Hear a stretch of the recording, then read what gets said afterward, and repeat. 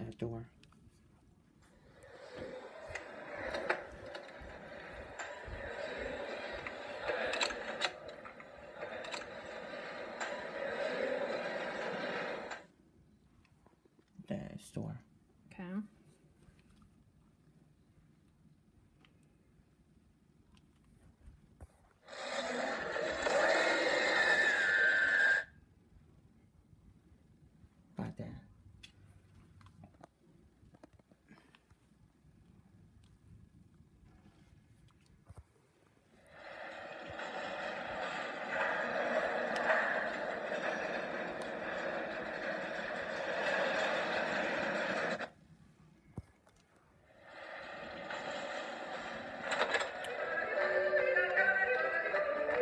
你妈你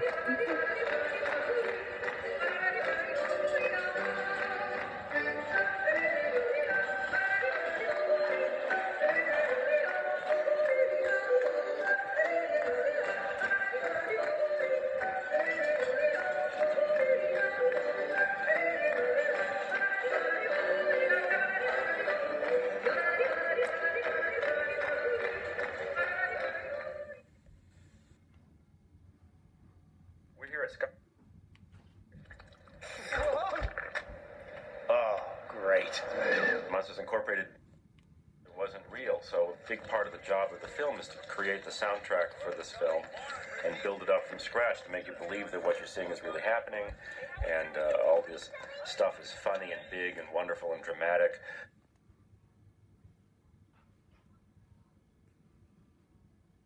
You know, if they're outside, you hear birds and wind in trees and stuff like that. And then uh, you lay on pieces at a time. Then we would do the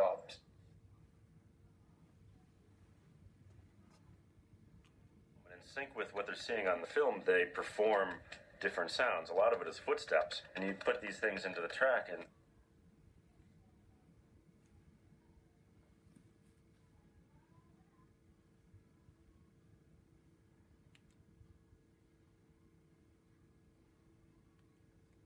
quack, quack, quack, quack. And one of my favorite sound moments is he takes these toys and he tries to stuff them down the toilet. As he flushes them down the toilet, those same toy sounds, the quack quack, and that turn into this underwater thing. So it goes from quack quack quack quack to quack quack quack quack. These toys that just don't shut up. in Monsters Incorporated buys. You would ultimately would still hear the motor of the car, but if we play it at the right level, it underlines the basic idea of the film that the source of energy for everything comes from kids' screams. For that car going by. Play that at a low enough level so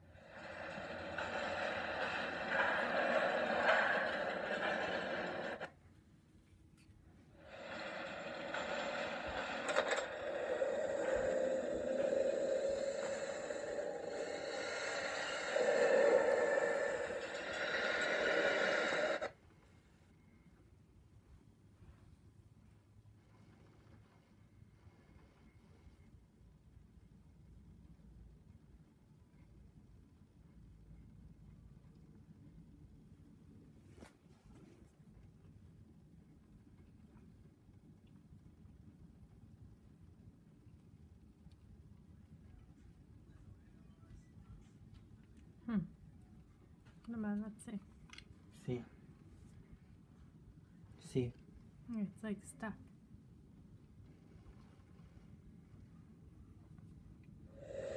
Huh. About that.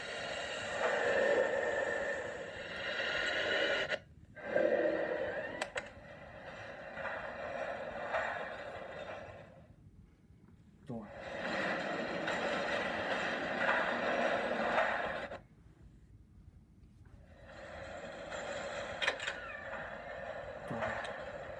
Door. Toys. Oh, future is bright at Monsters Incorporated. We power your car. We warm your home. We lo- in coming up with, with an idea like Monsters Incorporated, I think from the beginning we knew that there was uh, going to have a lot of great possibilities for toys. I think part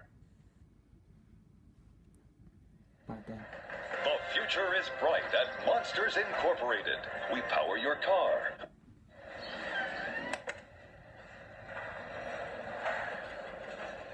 About that.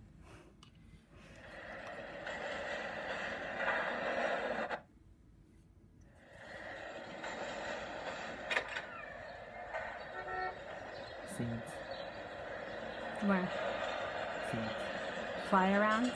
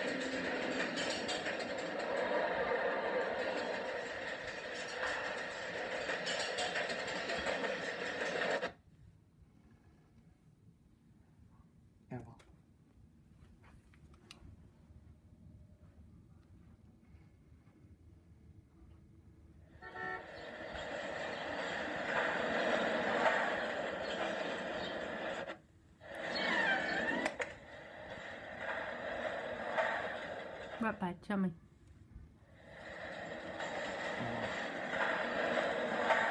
Okay, you need to be done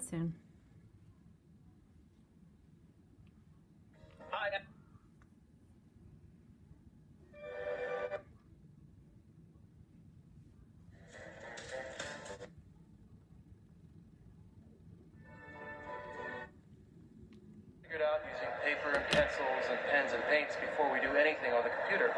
And for our movie, we've assembled a great team of very talented artists that have created a very unique look for Monsters Incorporated. One of the most exciting things on this movie was that we did get to create this world from scratch. I mean, nobody knows what a world where monsters live in might look like. There have been a lot of different interpretations of it through time, but we had an opportunity to create a really unique, original vision of a monster world.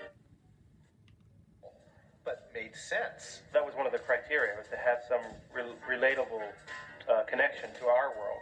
And also, if it's going to be designed this way for the monsters, there has to be a real reason for it. We have to really kind of think it out as opposed to, this looks neat.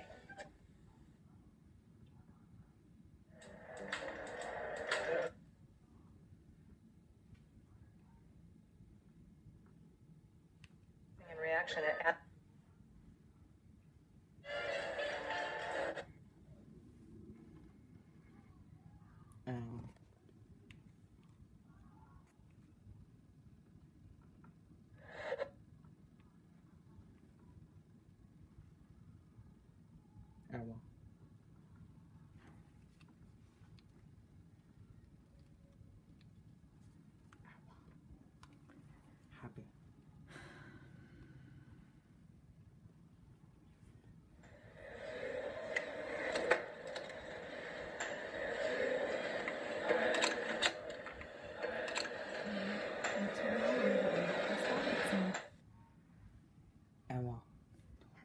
I know, it's getting so long.